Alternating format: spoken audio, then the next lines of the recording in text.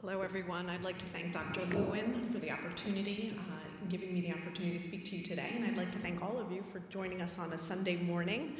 Um, I think you're probably a very motivated audience, um, and I am very pleased to be speaking to you and to give you a little bit of empowerment, hopefully, by the end of this talk.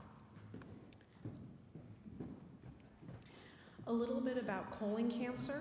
Um, last month was uh, Colorectal Cancer Awareness Month. I don't know if that prompted anybody uh, to go get their colonoscopies or to book themselves for colonoscopies, but that's one plug. If you already, if you haven't already had a colonoscopy, and you're at least 50, that that might be something to put on your to-do list. Colon cancer is common. Colon cancer is preventable. Um, it's the third leading cause of cancer in the United States. About 10% of all deaths related to cancer are due to colon cancer. And I'm going to say it again colon cancer is preventable. There's ways for us to prevent a growth of a colon cancer. Screening exists. Screening, if you've heard about colonoscopy, is one way to prevent colon cancer. We remove precursors and prevent them from growing on to become colon cancer. And screening also reduces our risks of, of cancer related deaths. So, does family history of colon cancer matter? It absolutely does. Dr. Lewin just talked a little bit about the importance of family history. If you see in this pie chart, about 20, 25%, and I would say up to 35% of patients with colon cancer have a family member who has also had colon cancer. So, if you know anybody diagnosed with colon cancer, if you yourself have had a cancer diagnosis, um, it's important to know the family history. It's not uncommon to have colon cancer in other relatives, and we're going to focus today on a small percentage, of the pie where they're due to gene mutations that are inherited from one generation to the next, which predisposes patients to developing colon cancer, often at young ages. So, in a patient who's had colon cancer, we break the colon cancer into two groups with respect to the genetics. One was the colon cancer discovered in the presence of having multiple polyps. This is one condition called FAP, which we're not going to talk about, but is a very striking presentation. And the other condition called Lynch syndrome, which is the most common inherited colorectal cancer syndrome, is when a colon cancer presents often at young ages and usually in the absence of having many polyps. Both of these conditions can be diagnosed before colon cancer happens. So I'm just going to reiterate that it is important for us to know our family history and to seek out um, our physician's input and, and genetic evaluation so that we might identify those patients who deserve blood testing um, to, to, discern whether or not they carry a mutation associated with colon cancer. And then we employ um, screening and preventive strategies. So, Lynch syndrome is the most common inherited colorectal cancer syndrome. Of all colon cancers diagnosed, it accounts for about 3 to 4%. The CRC acronym here is colorectal cancer. So, if we were to take everybody diagnosed with colorectal cancer, 1 in 35 patients with colon cancer has Lynch syndrome. We have to identify these patients. The lifetime risk is up to 80%. So if you carry this abnormality in the gene, the lifetime risk by age 70 is near 80 is, is, is near 80%. And we can really take action in preventing that, and that's through colonoscopy and starting early. There's also an increased risk of gynecological cancers, the most common one being endometrial cancer. And for many women with endometrial cancer at young ages, it can be the first cancer they present with. So, a young woman, 40s, 50s, even older, but it might be the first cancer associated with Lynch syndrome. And we shouldn't forget about this. We shouldn't just focus on the colon cancer. Um, it, in the lifetime risk for those women who carry a gene mutation associated with Lynch syndrome, endometrial cancer is near 60%. Ovarian cancer is on the order of about 10% in the lifetime and usually happens later on. So the family history is striking. Every generation is affected. So it's not uncommon for us to see it in our, in our parents' generation that there's a cancer, endometrial cancer, colon cancer, and in subsequent generations among co- cousins at young onsets. The risk, the risk of passing down the gene to our children is about 50%. Okay? So it's important to know, it's striking. Um, early age of colorectal diagnosis, usually in the 40s to 50s. It can be later, but 40s to 50s, if we have a patient diagnosed with colon cancer, it's a knee jerk reflex that we're going to be considering this as the cause. In a patient who's had colon cancer more than once, some of you are probably thinking, why would anybody develop colon cancer more than once? It happens. Um, we're thinking about this condition as well. Cancers other than the colon, there's a long list of them. There are ways to prevent and for us to do our work as, as physicians to put you on the right path and to have personalized screening and surveillance modalities. But the women should really be concerned about endometrial cancer and ovarian cancer, and, and there are risk reducing surgeries. Urinary tract between bladder and ureters and kidney, stomach, small intestine, pancreas is a new association, and then sebaceous adenomas of the skin. Um, I'm not going to spend too much time on this slide, but basically what happens is every day um, we can make errors in how our base pairs in our DNA link up. This is an error here. And normally we have machinery that corrects that.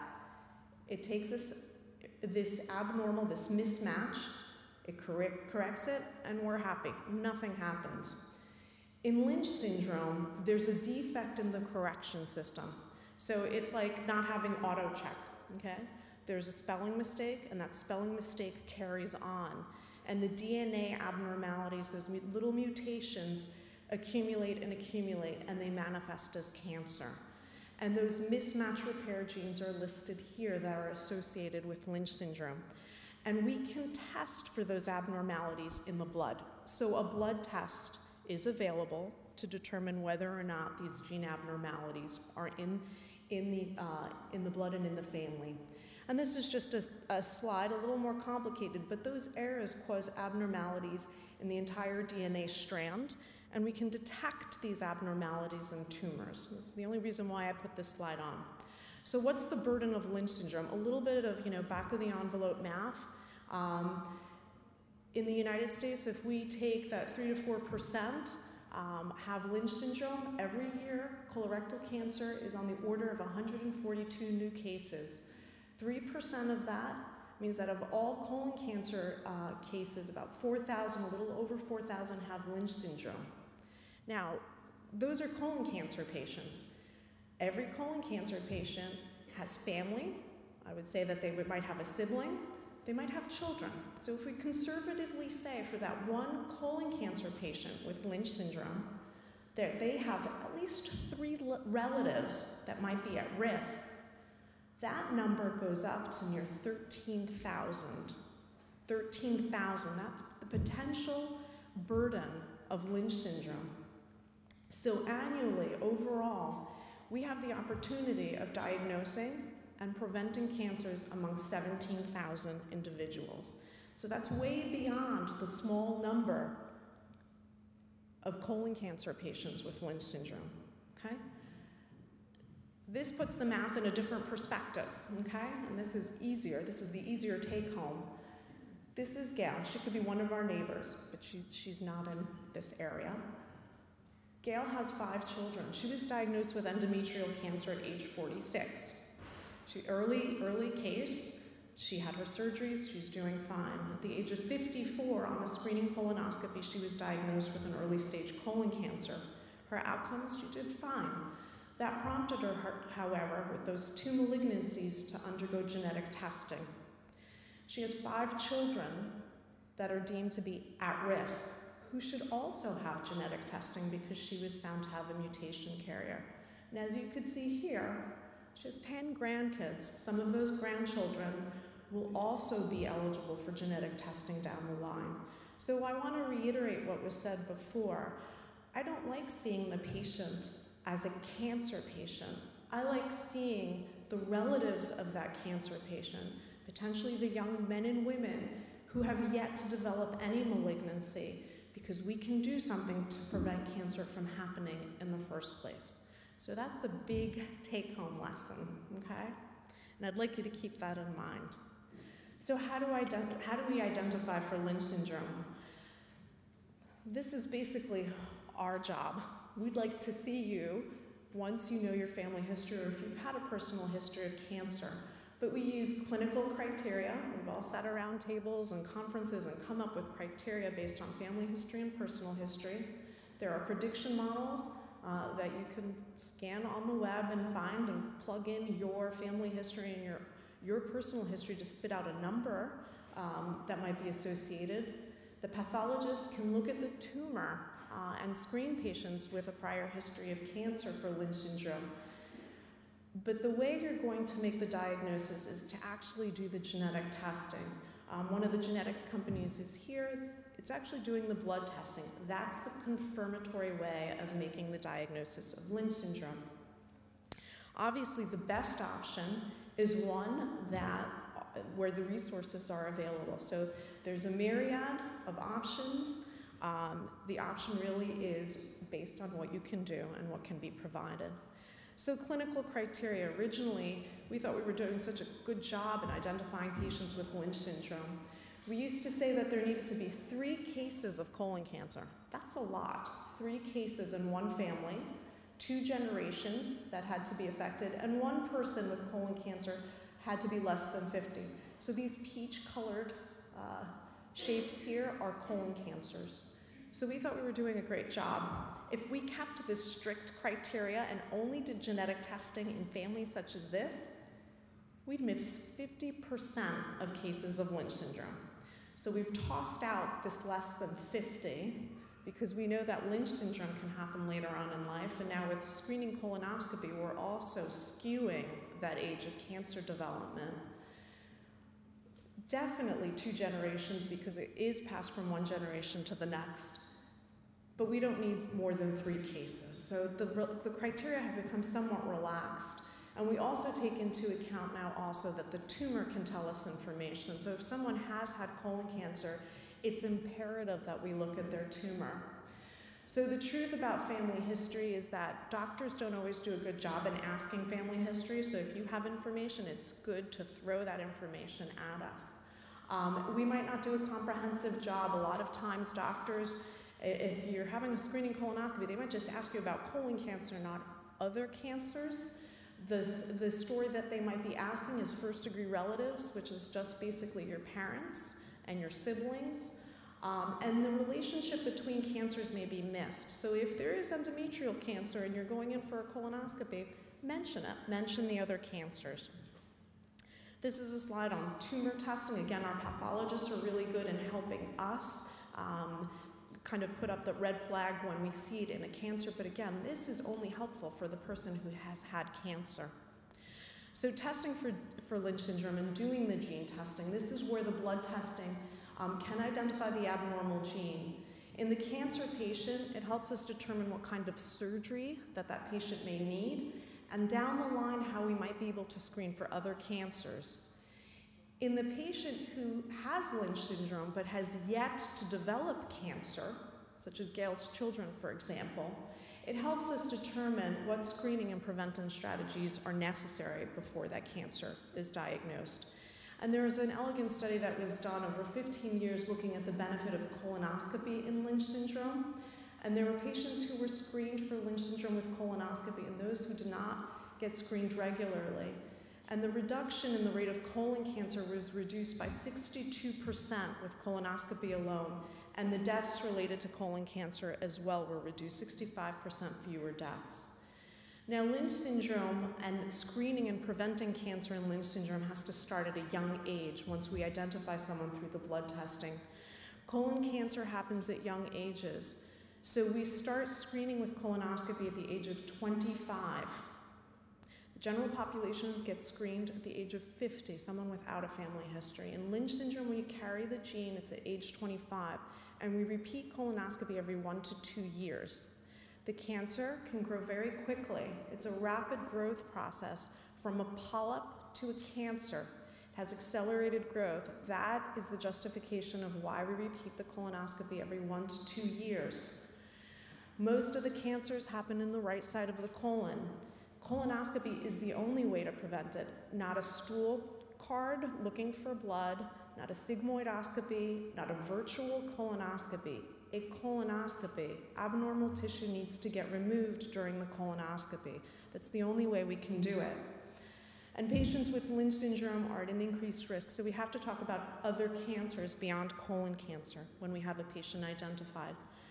And as I said, colonoscopy every one to two years, starting at around 25 years in most cases. For endometrial and ovarian cancer, we hope to get our, our patients with the, a mutation through their childbearing years. And then the recommendation is that they undergo a total abdominal hysterectomy with removal of both ovaries. It's the only way we can prevent Lynch syndrome associated gynecological cancers. It's a risk redu- reducing surgery. I've yet to have a woman, after she's done with childbearing, say, I'm not going to do this. The risks are very real. Other malignancies, uh, stomach uh, cancers, less than the other cancers that we've spoken about thus far, and there are interventions with endoscopy. These cancers are very personalized based on the family tree, so I'm not going to go into them. Um, with respect to surgical management, when a patient is diagnosed with colon cancer, there's the option of removing just the cancer or removing more of the colon, um, which decreases the risk of subsequent cancers in the colon. Even the leaving in the colon and undergoing colonoscopy, there is a miss rate of colonoscopy. We really are vigilant about doing them, but nobody wants a second colorectal cancer. So, a more extensive surgery is a discussion that is had uh, with our patients with Lynch syndrome. And then again, with endometrial cancer, it's the most common extracolonic, the most common cancer outside of the colon, a high risk for women, obviously and the prophylactic removal of the uterus and ovaries is recommended once childbearing is complete. I don't work alone. I have a team.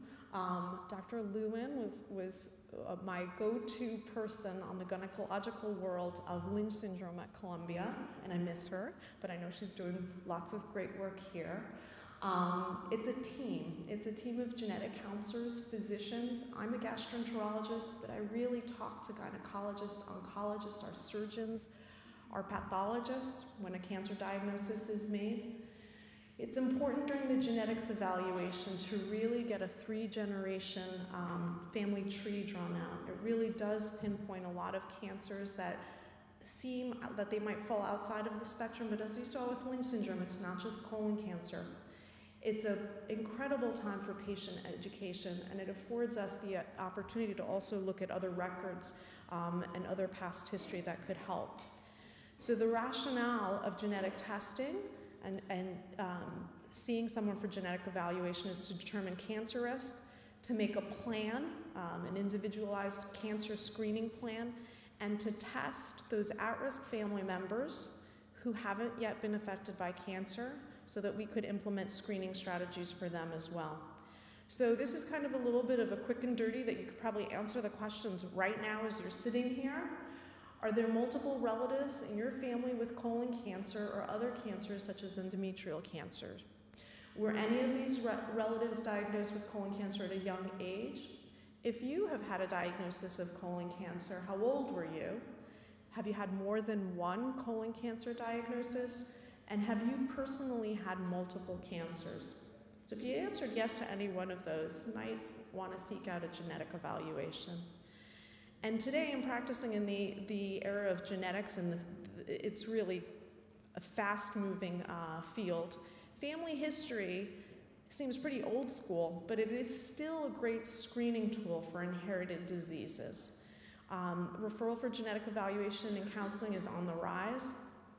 Nobody's family history is silly to ask about. Um, addressing screening of multiple cancers is important, and incorporating recommendations for family members. Again, those who have yet to be affected by cancer is, is really imperative for us. So, take home colon cancer is preventable. Know your family history, and genetic evaluation can help determine your cancer risk and that of your family members. Thank you.